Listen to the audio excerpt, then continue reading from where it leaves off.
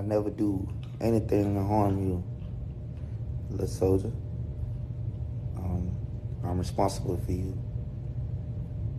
Before I do anything to harm you, I give you the knife and stab me in my back again. Cause I love you, little nigga. I never do anything to harm you, bro. Kodak Black released a song called Super Gremlin. And in the song, there are some lyrics that some fans perceive to be about Jackboy. And some of the lyrics that are questionable, it sounds like Kodak is saying that he would do something to him. Well, Jackboy has now responded back with a record called Don't Force My Hand.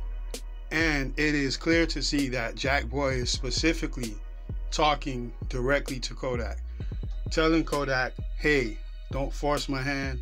Hey, don't send nobody to come at me. Now, Kodak has responded and he said that he will never harm Jackboy.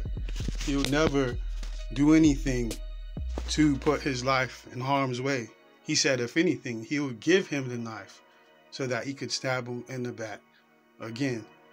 And it's just an interesting turn of events. That's all I have to say about that.